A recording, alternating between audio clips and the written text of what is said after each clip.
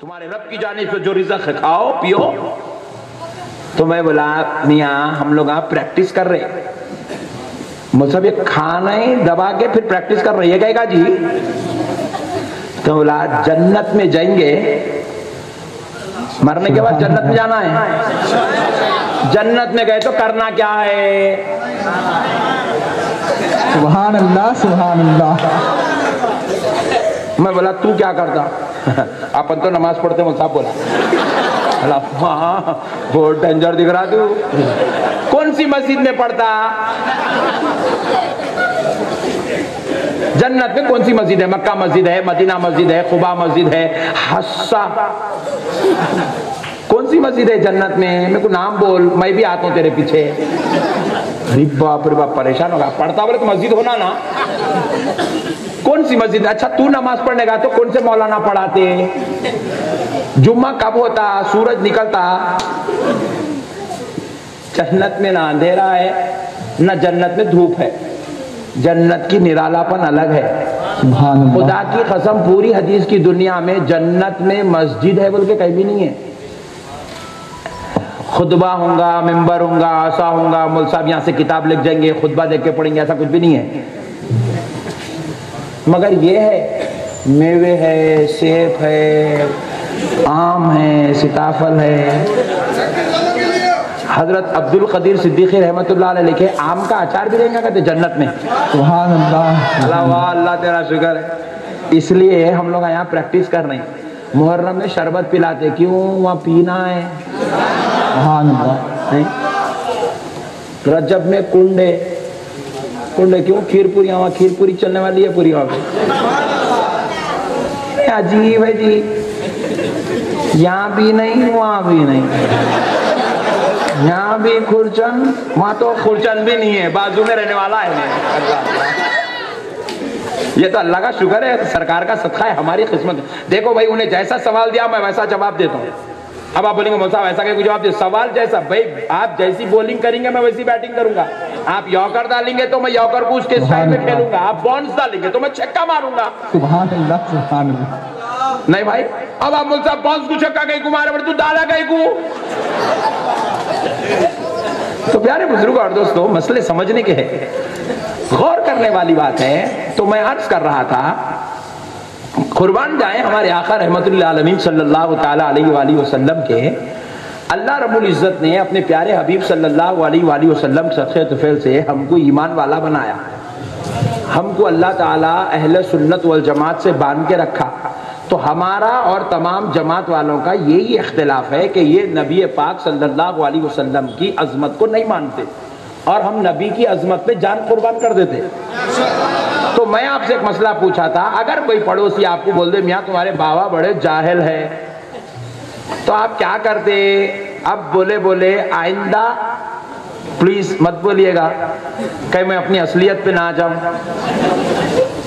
है ना भाई? प्यारे बुज़ुर्ग और दोस्तों, गौर करिएगा। अजी, हमारे वालिद गुनागार हैं, खताकार हैं, सियाकार हैं, उनसे गुना भी होता है, नमाजें भी छूटती है, सियाकारी भी होती है, बदकारी भी होती है, और वाकई में वो जाहिल भी है। जाहिल कहते हैं जो नहीं पढ़ा लिखा है, जाहिल भी है। जाहिल को जाहिल बोले तो एक गीरतमंद बेटा बर्दाश्त नहीं करता। अगर जगह रोज़ाना उसका उसके अब्बा का टेंशन चलता घर में। अट्ठावीस साल का होगा, काम क्यों नहीं जा रहा? सुबह उठते कि बाबा उसको इंजेक्शन देते, तू काम क्यों नहीं जा रहा? तू काम क्यों नहीं जा रहा? रोज़ाना टेंशन चल रही। बाप का बेटा अपने बाप से टेंशन वाली लाइफ गुजार रहा, मगर वो बाप के ताल्लुक से बाहर आया तो खिलाफ नहीं सुनता। ये गीरतमंद बेटे की निशानी है। अरे जब गुनागार बाप हो जिससे बेटे का टेंशन हो जिससे घर में इख्तिलाफ हो वैसे बाप के लिए बेटा जाहिल लफ्ज नहीं सुन सकता। तो जिसे अल्लाह जिसके बारे में कहता है और रहमान कुरान सुबहान अल्लाह। रहमान ने अपने हबीब मुस्तफ़ा कुरान सिखाया है। अल्लाह कहता है किताब वल सुबहान हबीब हमने आपको इल्म सिखाने वाला। और हिकमत वाला बनाकर भेजा है। अल्लाह कह रहा है हमने आपको इल्म सिखाने वाला बनाकर भेजा है। अल्लाह कह रहा है अपने बंदे को रहमान पढ़ा रहा है। तो जरा सोचो वैसे बेऐब नबी को अगर कोई अनपढ़ कह दे तो हम कैसे बर्दाश्त करेंगे? करेंगे? जरा बोले भाई करेंगे? नहीं करेंगे। नहीं करने का नाम ही सुन्नियत है।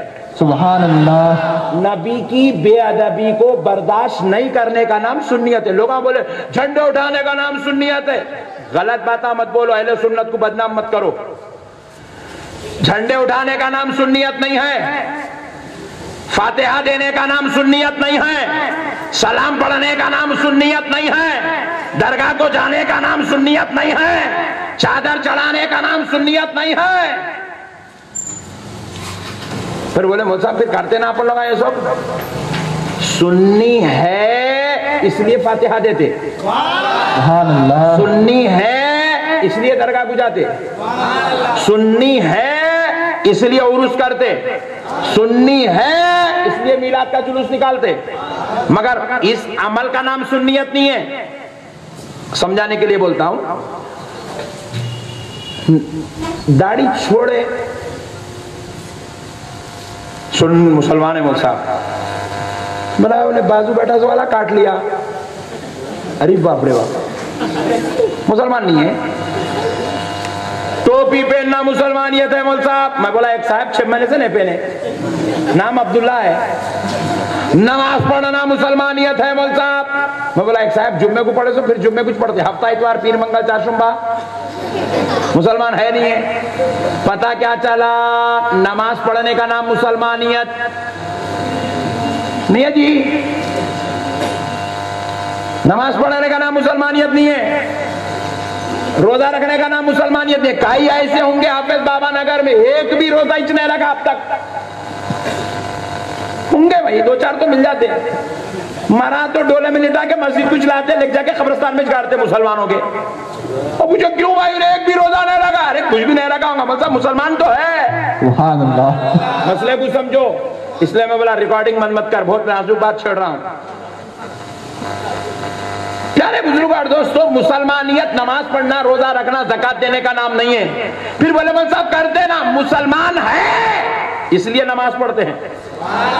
मुसलमान है इसलिए रोजा रख, रखते हैं। मुसलमान है इसलिए जक़ात देते हैं। मुसलमान है इसलिए हज को जाते हैं। इसी तरह दोस्तों सुन्नी है इसलिए फातिहा देते हैं। सुन्नी है इसलिए दरगाह को जाते हैं। सुन्नी है इसलिए झंडा चढ़ाते हैं। सुन्नी है इसलिए कुंडे करते हैं। सुबहान अल्लाह। मुसलमानियत का नमाज़ से कोई ताल्लुक नहीं नमाज़ अलग चीज़ है मुसलमानियत अलग चीज़ है रोजा अलग चीज़ है मुसलमानियत अलग चीज़ है। बोले मौलाना मुसलमानियत क्या है? तो कहा अल्लाह को एक मानना नबी को बेऐब मानना। सुबह ये मुसलमानियत है। नमाज़ तो रामाराव साहब भी पढ़ते थे। मुसलमान थे। हमारे कई गैर मुस्लिम एमएलए नमाज़ पढ़ रहे हैं, रमज़ान में रोजा भी खुला रहे टोपी भी पहन रहा उन्हें। मुसलमान है? नहीं है? क्यों? नमाज़ तो पढ़ा, मगर खुदा को एक नहीं माना।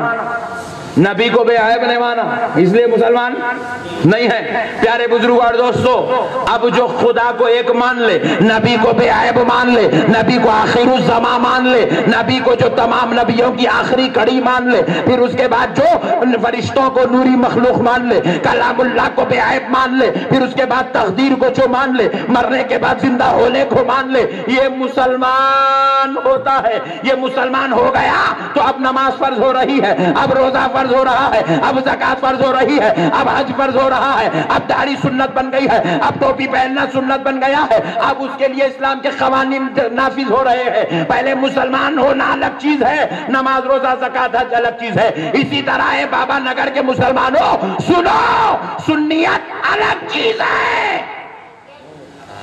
फातिहा, सलाम, दरगाह, जियारत, कुंडे, चालुम, बीसवां, चालीसवां, पच्चीसवां, ये अलग चीज़ है। आप मुझे मुलसा फिर सुन्नियत बोलते किसको? कान खोल के सुनो। अपनी जान से ज़्यादा, अपनी औलाद से ज़्यादा, अपने बाप दादाओं से ज़्यादा अपनी बीवी बच्चों से ज़्यादा आमिना के लाल से मोहब्बत करने का नाम सुन्नियत है। सुबह सुबह नबी को बेऐब मानने का नाम सुन्नियत है। नबी को आलिम गैब मानने का नाम सुन्नियत है। नबी को मका का मकी खुदा का दीदार करने वाली साहब मानने का नाम सुन्नियत है।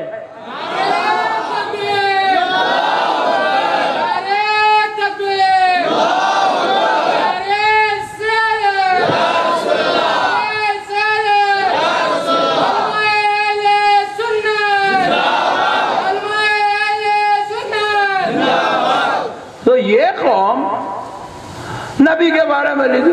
बारे में लिखी नबी हमारी तरह है। नबी को इल्म गैब नहीं है। नौजबिल्ला नबी अनपढ़ कुरान की आयत का तर्जुमा करे। किताब में लिख लेते तो अच्छा था। कुरान की आयत का तर्जुमा।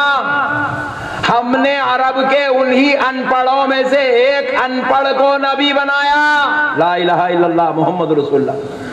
जो नबी को अनपढ़ समझे, वो कैसे ईमान वाला हुआ? इसलिए मैं जमात वालों को पूरा हिंदुस्तान फिरता हूँ और मशवरा देता हूँ। मैं बोला मियाँ अगर नबी अनपढ़ है बेशक मुल साहब नबी नहीं पढ़े मदरसे को भी नहीं गए उनके मुल साहब भी नहीं थे उन्होंने यूनिवर्सिटी को भी नहीं गए। अनपढ़ है। तो बोला फिर हौले तू अनपढ़ का कलमा कहीं को पढ़ता? अल्लाह पढ़े लिखे का कलमा पढ़। बोले मुल साहब वो कौन है? नहीं मालूम। मैं बोल मैं समझाता हूँ इधर।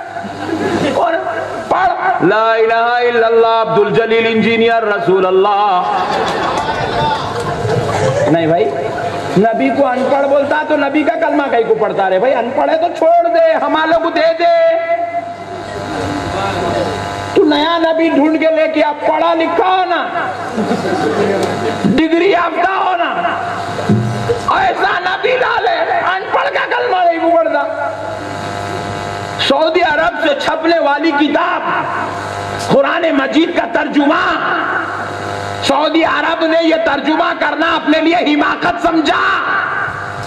कुरान की आयत का तर्जुमा करके मुफ़्त में आने वालों को कुरान बांटते हैं क्या तर्जुमा है कुरान का? लकल्लाहु मिन ज़ंबिका व मा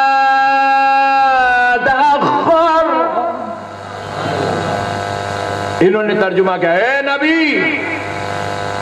हमने तेरे अगले पिछले गुना माफ़ किए। ला मोहम्मद रसूलुल्लाह। गुना माफ़ किए कब बोलते जी, जब गुना है तो माफ़ करेंगे ना। गुना माफ़ किए बोलना इस बात की दलील है कि नौज बिल्ला नबी गुनागार है। जो नबी को गुनागार समझे, उन्हें मुसलमान कैसा हो सकता मेरे भाई?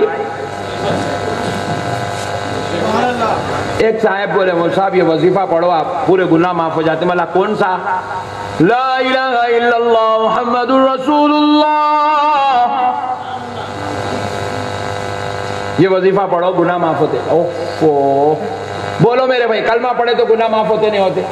बेशक जरा ज़ोर से बोलो कलमा पढ़े तो गुना माफ़ होते नहीं होते? होते। अजी नाम मुस्तफ़ा की ये तासीर है कि उनका नाम पढ़ लिए तो गुनाह माफ़ हो जाते। चौदह सौ साल बाद पैदा होने वाला गुनेगार अपने नबी का नाम पढ़ लिया तो नबी के नाम के सदक़े में गुनेगार के गुनाह माफ़ हो जाते तो फिर नबी जो जाते अकदस है उनकी अजमतों का आलम क्या होगा? सुबहान अल्लाह सुबहान अल्लाह। उनके बारे में लिख दिया भाई लोग हाँ डेंजर हम है नबी हमने तेरे अगले पिछले गुना माफ़ किए। और मैं ये पूरी 500 साल 600 साल पुराने बातें नहीं कर रहा हूँ। आज असर की नमाज़ के बाद इन लोगों ने जो किताब पढ़ी, वो किताब के बातें कर रहा हूँ। एट प्रेजेंट आज की बात है बड़ा ताज्जुब हुआ। तो अहले सुन्नत वल जमात, जो दिगर जमात वालों से इख्तलाफ करती है, वो दरगाह को नहीं जाते बल्कि इनसे इख्तलाफ नहीं है। इन लोग झंडा नहीं चढ़ाते बल्कि हमारा इख्तलाफ नहीं है। इन लोग उरूस नहीं करते इसलिए हमारा हम तो बोले तू करना भी नहीं ये तो हमारा हक है। हम बोले तू दरगाह को आना भी नहीं तेरे को देखे तो हज़रत जलाल में आके कहीं हमको नहीं देखेंगे। तुम लोग को आ भाई है हमारे काम आए हम लोग कर लेते ये। चादरा फूला हम लोगों की किस्मत के ये। कुंड दुखाना भी नहीं। ये तो हम मुकद्दर में लिखा के लाइसो है। हमारा इख्तलाफ इसके कुंडों से इसके चादर से इसके फूलों से इसके झंडे से नहीं है।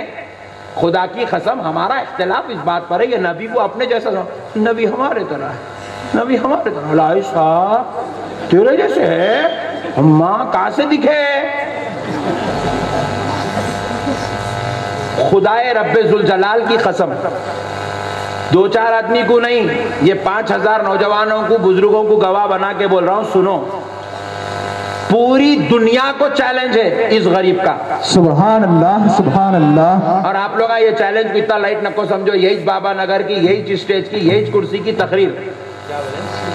सऊदी अरब के अंदर यू तहलका मचा के रखी थी। अल्लाह मुसीफुर रहमान बौरानो का अम्मा ये कौन है रे भाई? बाबा नगर से सऊदी तक पहुँच गई आवाज़ ये इतनी डेंजर रद्द करने गया। रद्द करने जाके क्या बोला? गौस आज़म मुर्दा है उन्हें कपड़े नहीं पहन सकते उन्हें कफन नहीं पहन लेते उन्हें खबर को नहीं जाते उन्हें खुद नहीं कर लेते, वो नहीं कर अरे होले, मेरा रद्द कर, उनके पीछे कहीं को गया? यहाँ की क्लिप बता के, बाबा नगर की, पूरी वर्ल्ड वाइड मशहूर हुई। मैं बोला वाह अच्छा करा तू बनाया सो लोगों को और समझ में आ गया। अहमद नक्शबंदी साहब बोले इन लोग नबी के खिलाफ बोलते बोले इन्हें तो वलियों के खिलाफ भी बोल रहा। मैं बोला तेरा भांडा तू फोड़ लिया। क्योंकि ये नैया ऐसी है इसको कीला मारने का तो पलट के लगता। अल्लाह प्यारे बुज़ुर्ग और दोस्तों आप जरा गौर करो। गौर करने वाली बात है।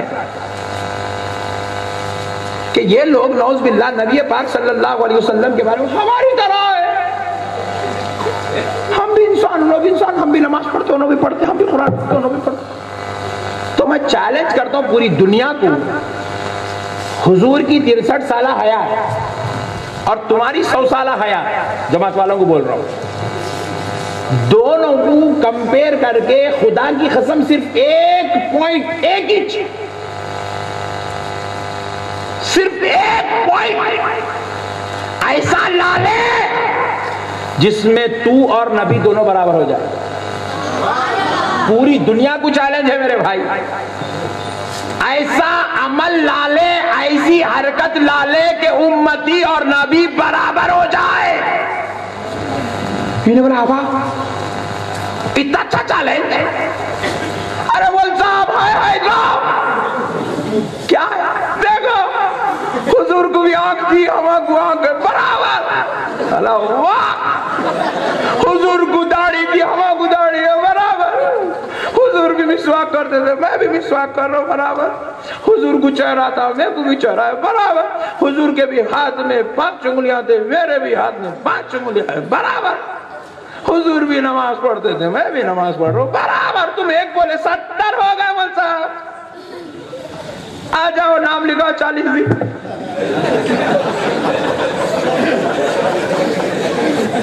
अरे बोला होले। उंगली तेरे हाथ में भी है।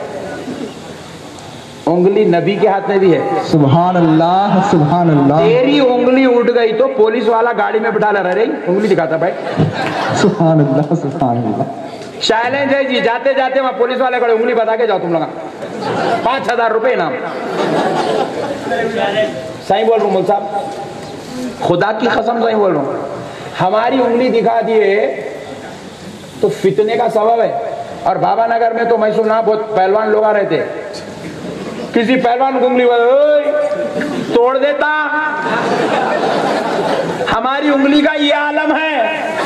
उंगली दिखा दे तो झगड़ा हो जाए, फितना हो जाए, हमारी उंगली इंतज़ार में मुब्तला हो जाए, हमारी उंगली इख्तलाफ का पहाड़ बना दे, हमारी उंगली हमको जलीलो खाक कर दे।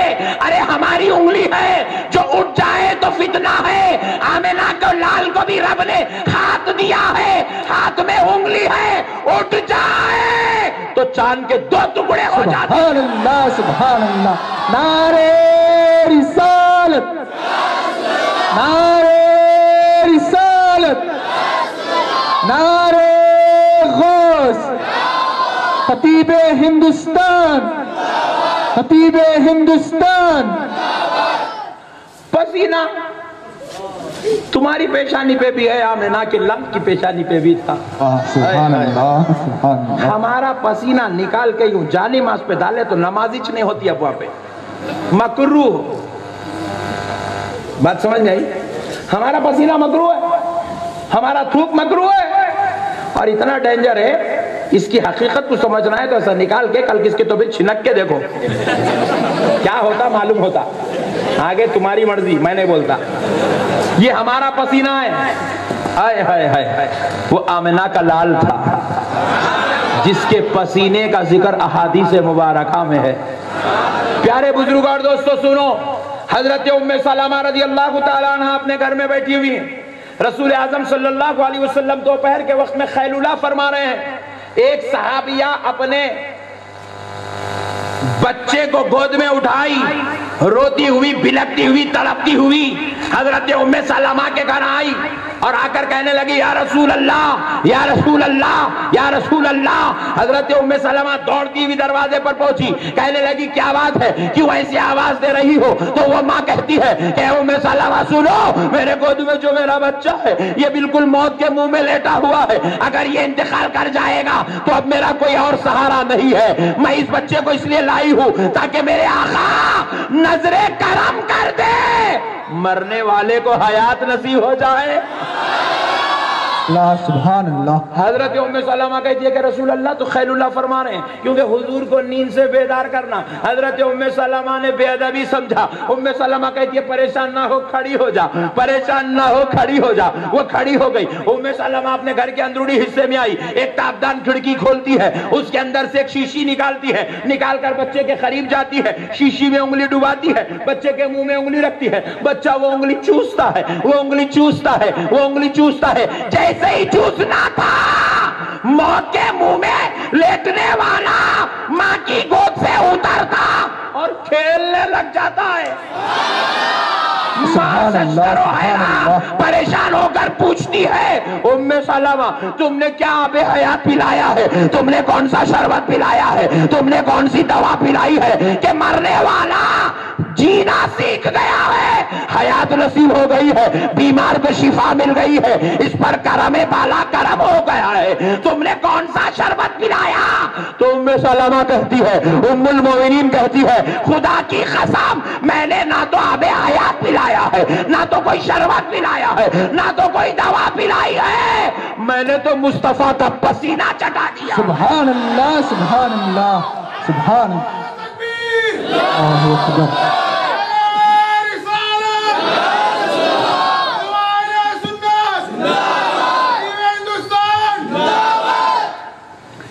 मैंने तो नबी का पसीना चढ़ा दिया है। अल्लाह अल्लाह। बोल साहब। बाजू वाले बोल साहब, बोले। नबी हमारी तरह बोला, पसीना चटा बाहर बाद में कर क्योंकि मारा ज़्यादा पड़ते पहले घर में तो प्रैक्टिस कर। कैसे मशवरे हैं भाई फुगट में? सुभान अच्छा है गलत है? सही है?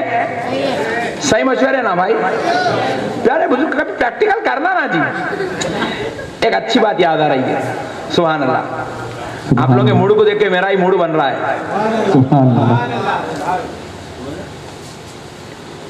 एक मौलाना साहब जलसे में बयान करते करते बोले सुन्नी मौलाना थे। बोले के अल्लाह ने सुलेमान अलैहिस्सलाम को ऐसा इल्म दिया है कि वो परिंदों की बोलियों को सुनते भी हैं समझते भी हैं।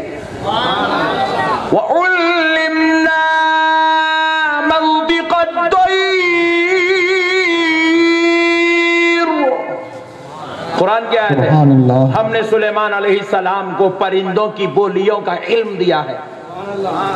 मौलाना इसके ऊपर तकरीर करे चुमटियाँ भी सुन रही थी परिंदे भी सुन रहे थे घोड़े भी सुन रहे थे पूरी तफसील बता दी आधे घंटे तक।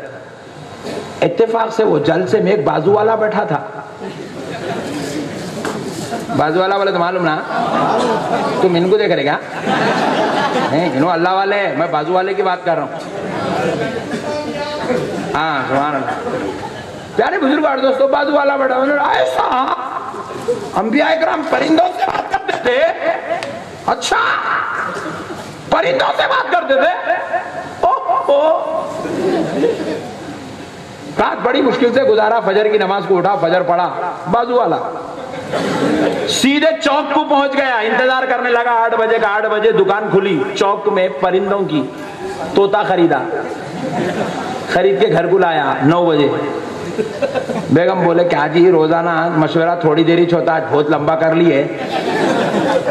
समझदार लोग समझ गए। इतना लंबा मशवरा जी? बोले, नहीं बेगम, आज मशवरा नहीं, आज प्रैक्टिकल चल रहा था। बोले, क्या?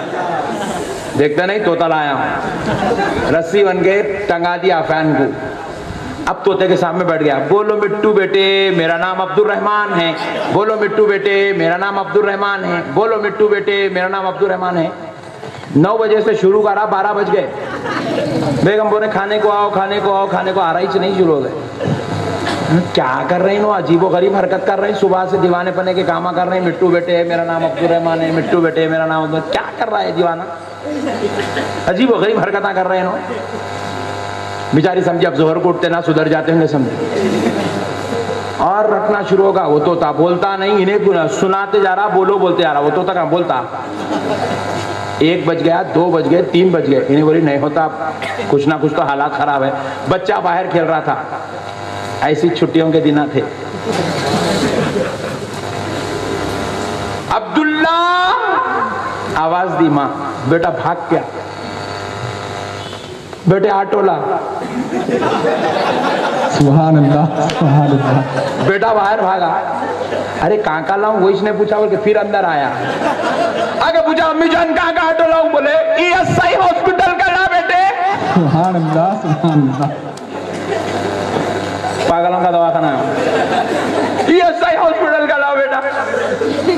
जाके ईएसआई हॉस्पिटल लाया अभी ने उठा के बोले चलो जी तुम बैठो ऑटो में। क्या हुआ बेगम? कहाँ लेके जा रहे मेरे को तुम बैठो जी ऑटो में बहुत डरा दे रहे तुम तुम ऑटो में बैठो क्या हुआ बेगम बोलो तो सही, नहीं तुम पागल हो गए। तुम पागल हो गए। क्या बेगम? सुबह से देख रही हूँ, तोते को पकड़ के लाया, बोल रहे मिट्टू बेटे अब्दुल रहमान बोलो, मिट्टू बेटे अब्दुल रहमान कहाँ से बोलता जी उन्हें? उन्हें तोता है, परिंदा है। अरे बेगम, मसला वो नहीं है जी। रात में वो दरगाह वाले मौलाना बोले, अल्लाह ने सुलेमान अलैहिस्सलाम को परिंदों की बोलियों का इल्म दिया था, कुरान पढ़ के सुना है और हमारी जमात का अकीदा है हम नबियों के बराबर है। उन्होंने नबियों के बात करे तो मैं कहीं गुने कर दो इसलिए मैं भी तोता लाके प्रैक्टिस कर रहा हूँ। पता क्या चला? नबियों जैसी होने की हरकत करना पागल होने की अलामत है। नबी खुदा के फजल से बात करता है। बंदा अपने एतबार के मुताबिक ज़िंदगी गुजारता है। हजी, वो गरीब कौम है मेरे भाई। कहाँ से आई? कई को आई? कौन लाए? कई को लाए? आज तक समझ में नहीं आया। शोशा लगा नबी हमारे जैसे। नबी हमारे जैसे। अरे, कई को बोल रहा है, भाई जा जा क्यों? अपने जैसे बोले ने क्या ही माकत? देखो नौजवानों, तुम इतनी दिलचस्पी से सुन रहे हो तो सुनाना भी मेरी तबीयत चाहती है। हक और ईमान से अल्लाह रसूल को हाजिर नाजिर जान के बोलो, यहाँ कई जमात वाले भी आ गए। बोला इतना ज़बरदस्त बयान कौन है भाई? आखिर ये बोल के जमात वाले भी आ गए टेंशन न लो तुम लोग। सुनो गौर से। हक और ईमान से अल्लाह रसूल को हाजिर नाजिर जान के बोलो मेरे भाई। एक बेटा हाफिज बाबा नगर का अल्लाह उसको इतना बड़ा मर्तबा दे दिया, हिंदुस्तान का प्राइम मिनिस्टर बन गया। दुनिया में यह मुकाम है कि प्राइम मिनिस्टर के होदे पर है, पूरी कौम उसको वोट डाल के इतने बड़े मनसब पे पहुंचाई। और दीनी एतबार से अल्लाह उसको इतना बड़ा मर्तबा दिया कि वो जो है हवाओं में उड़ने लगा। विलायत के मुकाम पे फायज हो गया। दुनियावी एतबार से आला पे सरफराज है। दीनी एतबार से हवाओं में उड़ रहा है। वैसा शानो अजमत इज़्ज़त वाला बेटा, जिस पे खुदा ने रहमत के दरवाजे खोल दिए हो, खुदा जिसके अमल से राज़ी हो गया हो वैसा हवाओं में उड़ने वाला बेटा। आप उसको जब नीचे उतर के आया, या उन्हें हवा में, जब पीछे जाओ, जाके उसको पूछो, मियाँ तो इतने ऊपर आ गया, हवा में उड़ते उड़ते, इतना बड़ा तेरा मुकाम है। लेकिन तेरे घर में नीचे तेरी एक गुनागार माँ है। तेरी माँ से कभी कभी नमाज़ भी छूट जाती है गुनेगार है, खताकार है, कभी लफ्जी भी होती है, कभी मुँह से बदुआ भी निकल जाती है कभी कभी जो है गाली भी निकल जाती है, कभी तुझे मार भी देते थे। मियाँ हक और ईमान से बता तू तो इतने बड़े मरतबे को आगा हवाओं में उड़ रहा नीचे उतरा तो वज़ीर आज़म ऊपर आया तो हवाओं में तू। अब बता तेरा मर्तबा बड़ा है या तेरी गुनागार माँ जो ज़मीन पे है उसका मर्तबा बड़ा है? वो हवाओं में उड़ने वाला। ये जवाब देगा रे नादान ये सवाल इसके को पैदा हुआ। मैं हवा में उड़ा तो क्या हुआ? आसमान पे भी पहुँच जाऊँ। खुदा की कसम, तब भी मेरा मर्तबा मेरी माँ से बड़ा नहीं हो सकता। मैं अपनी माँ के बराबर नहीं हो सकता, क्योंकि मेरे रब ने मेरी जन्नत मेरे माँ के कदमों के नीचे रखा सुभान अल्लाह सुभान अल्लाह। हवाओं में उड़ने वाला, चाँद तक पहुँचने वाला, आसमान पे बैठने वाला गुनेगार माँ के बराबर नहीं होता। इन्हें नबी का कलमा पढ़ के नबी के बराबर हो जाता कहते। एंटिक पीस है इन्हें। क्या बात है मेरे भाई। किसको हौला बनाना चाह रहे हैं? किसके साथ ये सब हरकत हो रहे हैं? कि मेरे को आज तक समझ, मेरे को तो समझ में नहीं आया लोग हौले भी बन रहे डॉक्टर साहब कहने बैठा हुई ये क्लिप तो ज़रूर बना तू मैं डॉक्टर साहब को सेंड करता हूँ। उनका चर्चा मैं कहाँ कहाँ कर रहा हूँ उनको बता दूँ। डॉक्टर साहब कहने बैठा डॉक्टर साहब बोले मौलाना कुरान शरीफ में झंडा नहीं चढ़ाना। बोला ओ डॉक्टर साहब तुम वहाँ के पढ़ते पढ़ते इधर का पढ़ना कब से शुरू करे? डॉक्टर साहब बोल रहे कुरान शरीफ में है झंडा नहीं चढ़ाना। मैं बोला अब आपको ईएसआई हॉस्पिटल की ज़रूरत है। वो कहीं बोले डॉक्टर साहब तुम मेंटली रिटायर्ड है। देखो कुरान आई रसूल अल्लाह के जमाने में। झंडा आया गौसे आज़म के जमाने में। कुरान आई रसूल अल्लाह के जमाने में। झंडा आया गौसे आज़म के जमाने में। तो वो झंडा जो नबी के आने के 400 साल के बाद आया वो नहीं चढ़ाना। 400 साल पहले आने वाली कुरान में कहाँ से आ सकता? सुभान अल्लाह। नहीं। कुरान आई 400 साल पहले, झंडा आया 400 साल के बाद। तो फिर 400 साल पहले आने वाली कुरान में झंडा नहीं चढ़ाना, ये कैसा हो सकता? डॉक्टर साहब अरे, ऐसा भी है। जान दो भाई, सॉरी भाई। हौला बना रहे मेरे भाई, कुछ भी मुँह को आता धन बोल के बोल देते। कुछ भी मुँह को आता बोल देते। जैसा समझ में आप बोल देते उसके बाद क्या करते हैं? निप गई तो निप गई नहीं निपी तो लाइट ले लेते सॉरी भाई, सॉरी बोलते और अच्छा बोले भी तो किसके सामने बोलते सुनो, पेरिस। पान डब्बे वालों के सामने, ऑटो वालों के सामने, तरकारी वालों के सामने, भिंडी वालों के सामने, ठेला भंडी वालों के सामने, रिक्शे वालों के सामने, चाय लाने वाले वेटर के सामने। तरकारी वाले के सामने क्या आप यहाँ कल नहीं आए तुम? जी आओ गुलबर्गा शरीफ गया था हाँ, दरगाह को जाता। अल्लाह का शुक्र अल्हम्दुलिल्लाह दरगाह को जाता। अरे मियाँ नहीं जाना मियाँ दरगाह को। नहीं जाना बात दरगाह को नहीं जाना। शेर बिदात हराम हदीस शरीफ में दरगाह को नहीं जाना। ऐसा? अब उन्हें शरीफ रहा तो क्या करता? तरकारी वाला अपने पास आता। मौलाना, उन्होंने ऐसा बोले, जी, दरगाह को नहीं जाना, कहते, नहीं गोली डाले हुए। कौन बोले अरे, वो अब्दुल जलील मौलाना कहा उसको जरा बुला तो सही। बुला के लाए अब्दुल जलील को। कैसी कैफियत रहती, समझा रहा अब्दुल जलील को बुला लाए। क्या मैं तुम बोलेगा जरा दरगाह को नहीं जाना, हदीस शरीफ में? बोले जियो मौलाना, बोला। कौन सी हदीस में? वही जरा बता। मैं पढ़ा, मौलाना। मैंने पढ़ा। फिर तेरे कैसा मालूम मेरे को अब्दुल रहीम बोले मौलाना। लियो। अच्छा जान दो तुम मौलाना है? नहीं।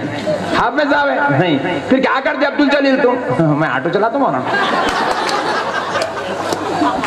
ऑटो वाला इतनी कॉन्फिडेंस के साथ बोल रहा हदीस में दरगाह को नहीं जाना हदीस में दर अरे इतना भयानक कैसा होगा रे भाई तू? फिर बोले तुम्हारा कौन बोले अब्दुल जलील। अब्दुल रहीम बोले बुला अब्दुल रहीम को बुलाए। अब अब्दुल रहीम को आप पूछना। आप मौलाना हाफिज साहब है। जी नहीं।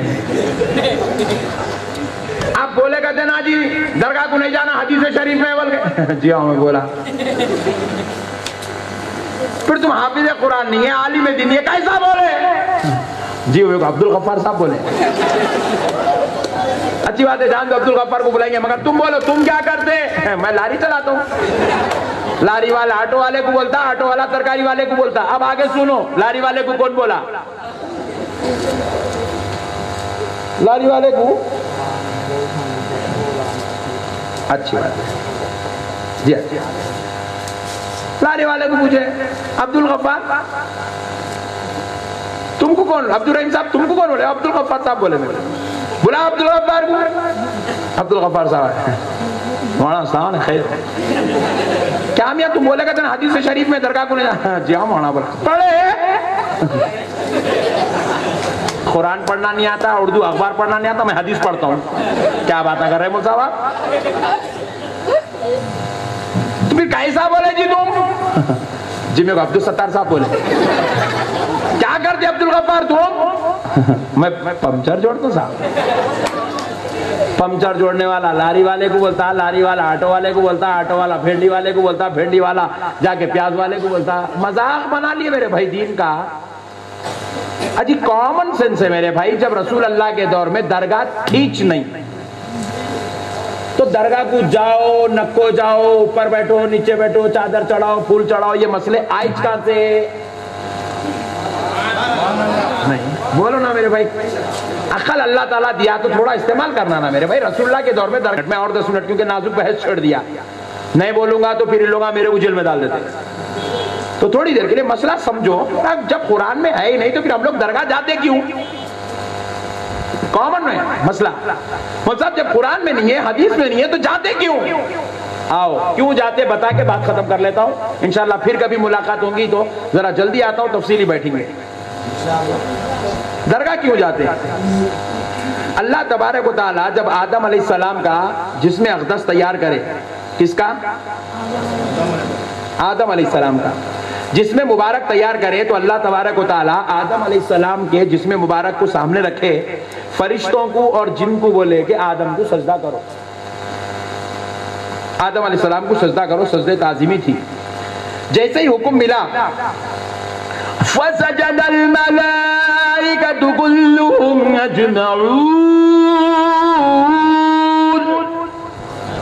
सारे के सारे फरिश्ते सजदे में चले गए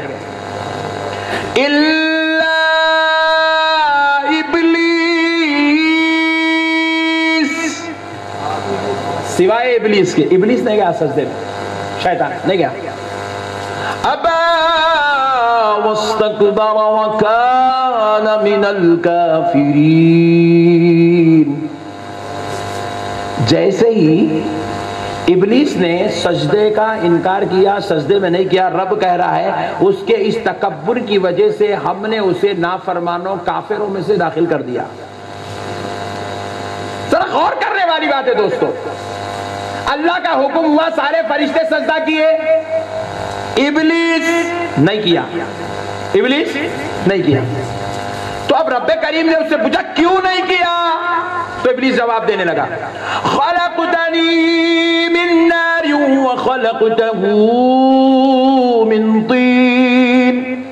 मैं कुरान सुना रहा हूँ आपको। कई कल तो कल कल तो वो सब जईफ हदीस आप पढ़ दिए पूरे। मैं अब तक हदीस सुनाया कि नहीं, खाली कुरान ही सुना रहा हूँ। अल्लाह रब्बुल इज़्ज़त ने पूछा, क्यों नहीं किया? तो जवाब दिया है अल्लाह, तूने मुझे आग से पैदा किया है। और उनको मिट्टी से पैदा किया है। मैं आग से पैदा होने वाला, फजीलत वाला हूँ, अजमत वाला हूँ, रुतबे वाला हूँ, शर्फ वाला हूँ, पहले पैदा हुआ हूँ उस्ताजुल मलाइका हूँ, मकीन जन्नत हूँ। मैं उस मिट्टी वाले को सजदा नहीं करता। गुरूर आ गया। तकबर आ गया, अकड़ गया। गुरूर और तकबर की वजह से आदम सलाम की ताजीम नहीं करा, आदम सलाम का एहतराम नहीं करा, आदम सलाम का अदब नहीं करा तो रब करीम को आया जलाल। रब ने कुरान पाक में इरशाद फरमाया, फखरुज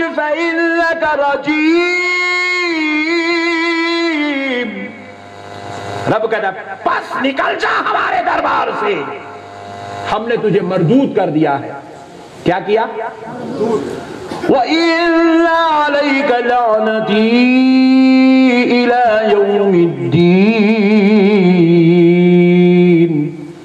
और खयामत की सुबह तक तुझ पर हमारी लानत है। ये अल्लाह के तीन जलाली खिताब पहला, फखरुज, हमारे दरबार से निकल जा। इन क्योंकि हमने तुझे मरदूत कर दिया ये दूसरा जलाली खिताब वह की सुबह तक तुझ पर हमारी लानत है तीन जलाली खिताब हुए जन्नत से निकाल दिया गया मरदूत कर दिया गया लानती खयामत तक मैं अर्ज़ करने लगा मेरे मौला तेरी रहमत के सदके जाऊँ तेरी अजमत के कुर्बान जाऊँ मौला, हम लोग गुनागार हैं, बदकार है, सियाकार है। बसरे में कितने हम लोग गुनागार है, बदकार है, सियाकार है, खताकार है मेरे मौला। गुनागारों की बात आई तो कुरान पाक में इरशाद फरमा रहा है। फिर कुरान पढ़ रहा हूँ, सुनिए। अपने बारे में कह रहा है, जो कल रात में प्रैक्टिकल गुजरना है, लैलतुल बारात अल्लाह कुरान पाक में इरशाद फरमाता है, ला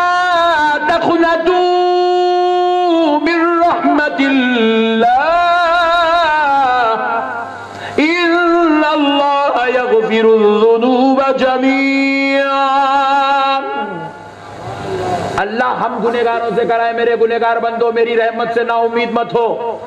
तुम करोड़ों गुना कर चुके हो, आओ, तोबा कर लो।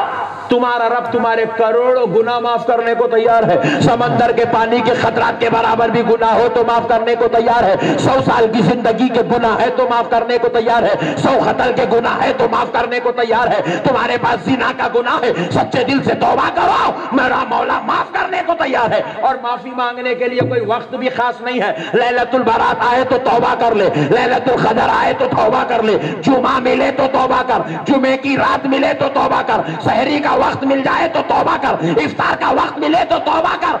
जब मौका मिले तौबा कर ले। मुझे मेरे रब होने की खसम तेरी मजलिस खत्म नहीं होगी। मैं तेरे सारे गुनाहों को माफ़ कर दूँगा। सुबहान अल्लाह सुबहान अल्लाह सारे गुनाहों को माफ़ कर दूँगा। हमारे लिए 24 घंटे तौबा का दरवाज़ा खुला है। मगर शैतान हमारे दरवाज़ा दिए है मगर शैतान को खिड़की भी नहीं दिए कयामत की सुबह तक लानत तो बोला, मौला, कयामत की सुबह तक लानत। अच्छा जरा गौर करो, क्यों लानत? जिना करा, चोरी करा, गुटके खाया, जर्दे के पाना खाया सेकंड शो देखा, बेगम का सोना लेके जाके रहन डाला रोज़ाना सुबह शाम बच्चों से गुटके सिगरेटा मंगा के बच्चों को खराब करा। नहीं करा। मगर हुआ क्या? लानती हो गया। सिर्फ़ दो मिनट में बात खत्म कर रहा हूँ, गौर से सुने। लानती हो गया, बात क्या है? जिना, चोरी, बदकारी, शरारत, शराब नहीं करा। फिर क्या करा? अल्लाह के महबूब की बेअदबी करा। क्या करा? महबूब के सामने सजदा करके उसका अदब बजा लाना था। सजदा नहीं करा अकड़ के खड़ा हो गया। महबूब की बेअदबी करा। तो रब ने क्या किया? उसे दुनिया में भेज दिया। कयामत तक लानत कर दिया। जन्नत का दरवाज़ा बंद कर दिया। उसको मरदूद बना दिया। फिर हमने पूछा, मौला, हम तो बड़े गुनेगार है, खताकार है, सियाकार है। तो रब कहता है, सुन बंदे, तेरे गुना का ताल्लुक मुझसे है। तू मेरा गुनेगार है, तू मेरा सजावार है, तू मेरा खतावार है। तूने मेरी नाफरमानी की है। मैं तुझे माफ़ कर दूँगा। लेकिन ये गुनागार नहीं है। महबूब का बेअदब है। अपने गुनेगार को तो माफ़ कर सकता हूँ, लेकिन महबूब के बेअदब को माफ़ इसलिए सुन्नियों ने डिसाइड कर लिया। एक महबूब था अदब नहीं करा। तो मरदूद हो गया। एक महबूब का अदब नहीं करा। जन्नत में था, बाहर फेंक दिया गया। एक महबूब का अदब नहीं करा। मरदूत कर दिया गया। खयामत तक लानती कर दिया गया। तो हमने डिसाइड कर लिया। एक महबूब का अदब नहीं करा तो मरदूद हो गया। या तो हर गली में महबूब आराम कर रहा है, हर गली में महबूब आराम कर रहा है, हर शहर में महबूब है, हर खरिये में महबूब है, हर पहाड़ पे महबूब है। किसी पहाड़ पर बाबा शरफुद्दीन है, किसी पहाड़ पर मीर मोमिन साहब है, किसी पहाड़ पर अहमद बादेपा है, किसी पहाड़ पर हज़रत ताजुद्दीन औलिया है, किसी पहाड़ पर गरीब नवाज़ का आस्थाना है। तो हमने डिसाइड कर लिया, एक महबूब का बेअदब था तो जन्नत से निकाल दिया गया। अगर अपने को जन्नत में जाना है कुछ करो या मत करो महबूबों का अदब ज़रूर कर लिया करो। सुभान अल्लाह सुभान अल्लाह इसलिए खाली नहीं जाते। तकाजे अदब ये है फूल का टोकरा लेके जाते। इसलिए इसलिए खाली नहीं जाते। मोहब्बत दिल में है चादर का नजराना लेके जाते। इस वास्ते जाते। तुम्हारे दादा बाजू वाली तुम्हारे दादा हमारे दादा की इज़्ज़त नहीं करे। समझे? इनके दादा हमारे दादा आदम सलाम की इज़्ज़त नहीं करे, मरदूद हो गए। इसलिए हम गौसे आज़म का अदब करते हैं, गरीब नवाज़ का एहतराम करते हैं, बंदा नवाज़ की ताजीम करते हैं, ताकि दुनिया में भी सरफराज हो जाए, आखिरत में भी सरफराज हो जाए। वमा अलैना इल्लल बलाग वल्हम्दुलिल्लाहि रब्बिल आलमीन। बज में हिदायत पहला खुद सलाम मुस्तफा जा ने रहमत पहला खुद सलाम शमा बज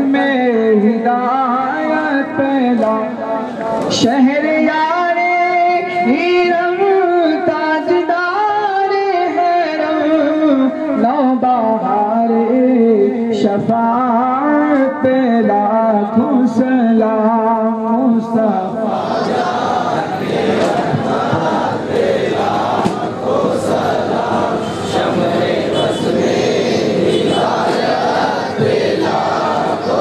या नबी सलाम